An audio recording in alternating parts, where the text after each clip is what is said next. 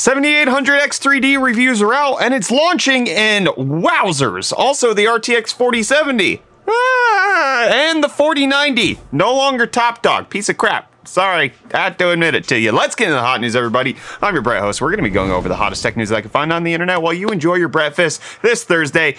April 6th, I was going to say May 6th, 2023, we're going to talk about all the hottest tech news. But before we do that, I need to let you know that we're actually live streaming right now our trip to Micro Center to actually pick up the 7800X3D. So come join us. We're giving away a PC, and if you watch the stream over on Twitch, you can enter into the giveaway. It's pretty easy peasy. So that's important, but I'm going to pick up the chip that we got the reviews for, and it turns out that it's incredible, despite the fact that AMD themselves only wants to say that it's slightly behind the 7950X3D in gaming. It turns turns out that that's just based on how they benchmark things and from what I can gather from all of the reviews that I've seen because the reviews did come out from a lot of different publications. We'll have a link in the video description for you to check out VideoCardz' list of all of the people who got a 7800X3D to review and from what I can gather it is an incredible chip. In gaming performance honestly probably beats the 7950X3D in reality because you don't have to do core parking and one of the major things that's coming out in the reviews is that this thing is super efficient. It is just, it's mind boggling how much power you're getting for the actual amount of juice it's sucking from the wall. And it's the cheapest way, at least according to Ars Technica, to get the most out of a $1,500 GPU. It really is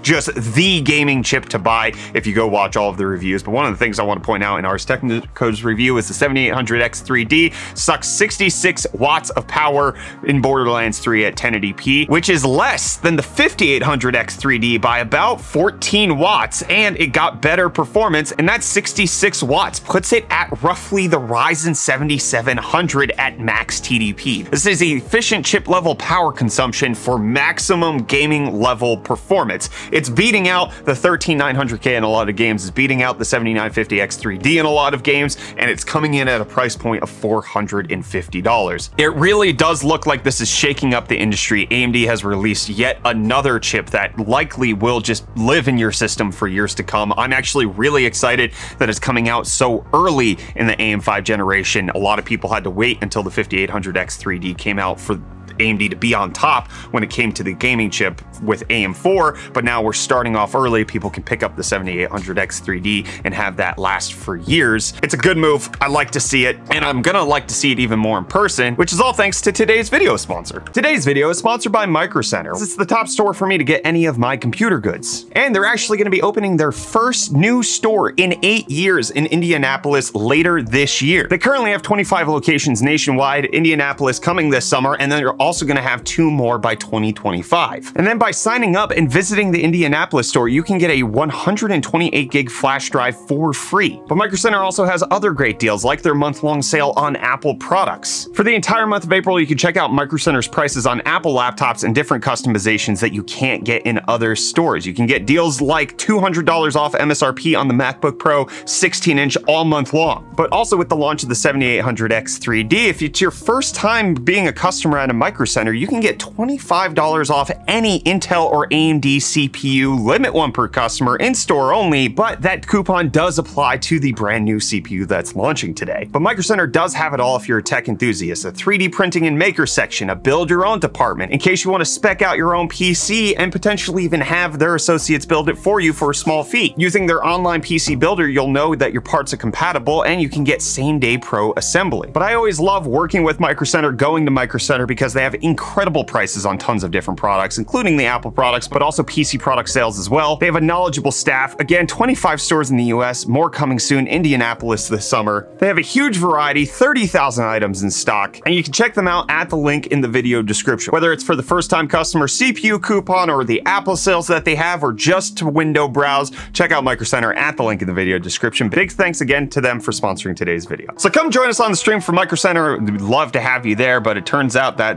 love was not had between Google and the head of Stadia because the head of Stadia is gone. Phil Harrison, the person who promoted Stadia, who said it was the future of games, left the company allegedly in January, according to reports. Now just updated to his LinkedIn. No idea where he's going to go, but he was the vice president of Google, got assigned to this department. It got canned, didn't actually perform well. And it's kind of sad to see that this happened because I did legitimately like Stadia to some extent. I wish it could have been better. And that's what a lot of people wanted out of Intel's 11th gen gen CPUs, at least in the mobile sector. Tiger Lake getting discontinued as well. In January 2024, these lists of CPUs are no longer going to be sold, and you'll just have to deal with that. You'll have to live on 12th and 13th gen.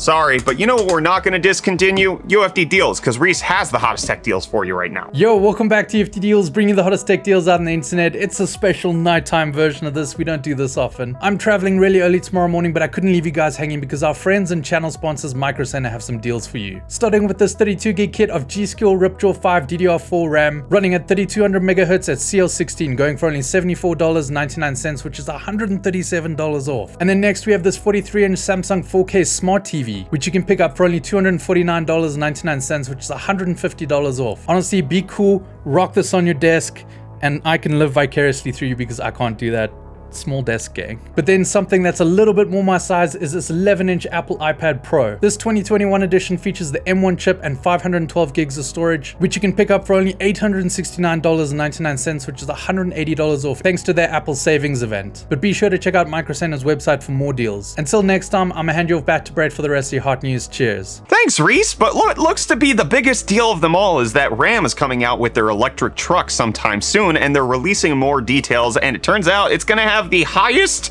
range out of any electric truck announced thus far, with a 229 kilowatt hour battery being the top one, and it's going to be over 500 miles of range. The 168 kilowatt hour standard version is going to get 350 miles of range, which is also incredible. looks like Ram is taking this EV transition seriously, on top of the fact that they're going to have a whole lot of truck features to be in the 1500 rev, 2,700 pounds of payload capacity, 14,000 pounds towing capacity, and it's also going to have up to 350 50 kilowatt DC fast charging, and it's going to offer bi-directional charging for up to 7.2 kilowatts of power delivery, which is rivaling what you can get with the F-150 Lightning. It does look like the 1500 Rev is going to be good. I want to see this in person. I want to see more of this truck. It really is cool to see a brand that is known for like American muscle and America's love of coal and oil is being transitioned to EVs. I can't I can't wait to get more of it. I'm really surprised at how much their the specs are lining up with what I want to see out of them. And the specs on the RTX 4070 are lining up with benchmarks that are finally coming out. Turns out in an OpenCL benchmark that we're getting out now, it's about where you would expect it to come in. It's roughly 20% slower than the RTX 4070 Ti, which was originally supposed to be a 4080, mind you. And that puts it in the realm of being an RTX 3080 in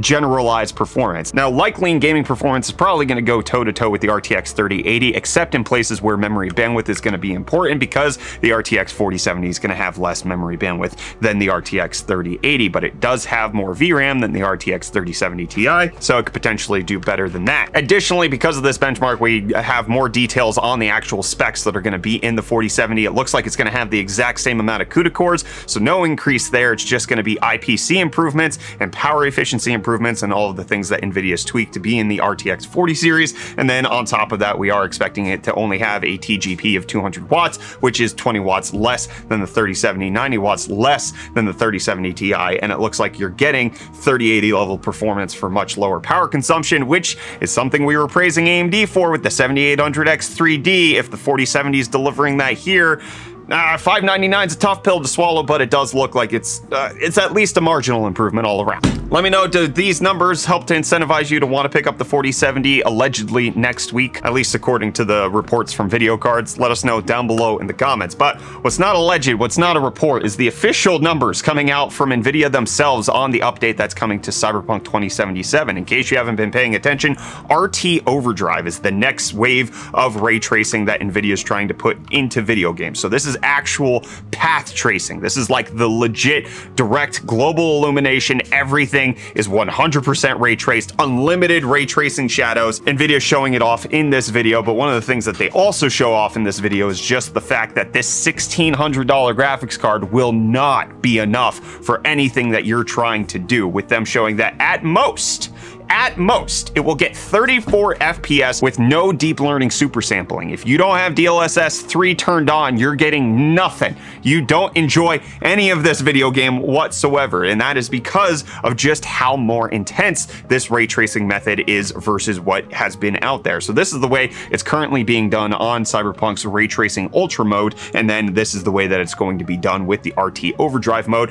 which is increasing the amount of power that the GPU has to deliver. Obviously, NVIDIA put this out to show that DLSS 3 is necessary with the frame interpolation and increasing the frame rate that way, where you turn DLSS 3 on, you get 138 FPS versus 34 in some regions, or when you were driving around 127 FPS versus 16 FPS, which is a huge increase. But obviously, there's the whole debate of this being fake frames. It really just goes to show that when NVIDIA was envisioning doing ray tracing in video games all the way back when the RTX 2080 launched, they, they had a vision that they could not even accomplish here in 2023 because to enable ray tracing fully is just going to murder your GPU. This really does seem to be the new benchmark for what a game can handle in terms of graphical and visual fidelity. So I've seen some sites say this is the new can it run Crysis mode? Can it do RT overdrive? Obviously, AMD not going to participate in getting this DLSS 3 numbers. We'll have to wait until FSR 3 comes out to see what AMD's reaction is with frame interpolation. But